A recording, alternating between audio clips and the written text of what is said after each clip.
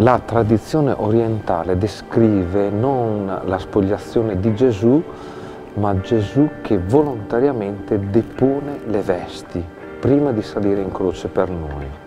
È quanto dipinto qui in Basilica nella prima scena della passione di Gesù.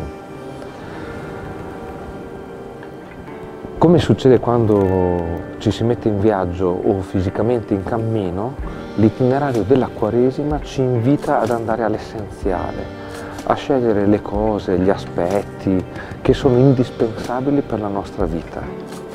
Siamo chiamati a spogliarci delle cose superflue per seguire Gesù Cristo.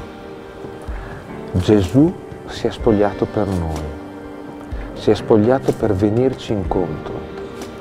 E nell'affresco che sta di fronte al fatto che Gesù depone le vesti e che vedete alle mie spalle, c'è la spogliazione di San Francesco.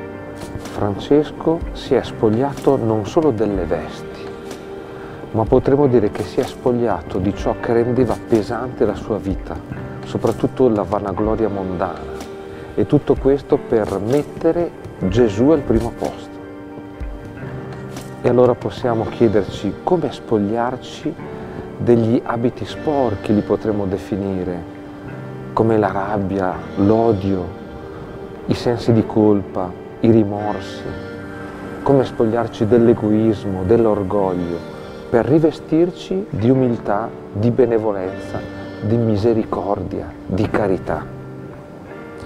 Cos'è davvero essenziale nella nostra vita? Cos'è davvero essenziale nella mia vita?